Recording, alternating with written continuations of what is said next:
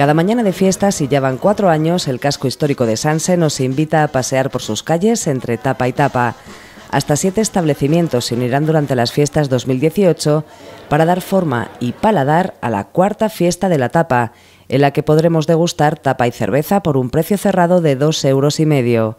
Cada bar se esmera en preparar una tapa distinta y deliciosa durante los días que dura la promoción, los mismos que las fiestas, del 27 de agosto al 2 de septiembre una ruta que pasa por el Café Mayor, el Ambigú, la Taberna El Foro, la Lumbre, el Tizona, Wiribar y el Mesón El Burladero, ruta en la que también encontraremos juegos infantiles y charangas.